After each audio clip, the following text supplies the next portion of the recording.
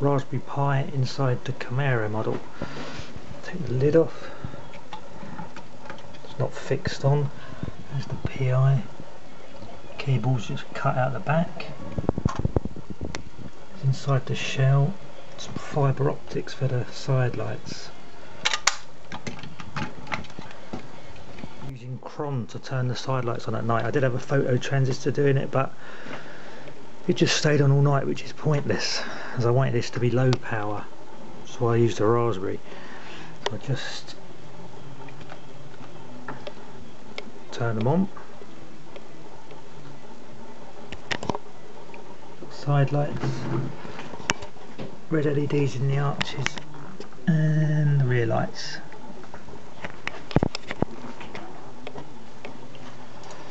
You go to the web page, get them both in. Headlights flash once.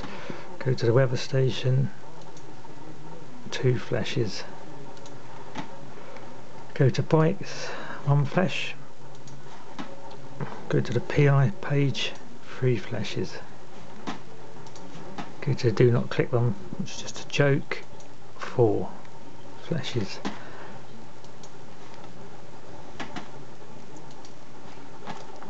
And we can just turn them again.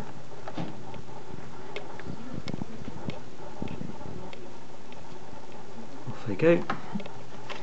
But of course the headlights still flash. When you navigate to the pages. So it's good during the day but it's better in the evening when you've got the lights on in the house because you just see the car every now and again the headlights start flashing when someone goes to the page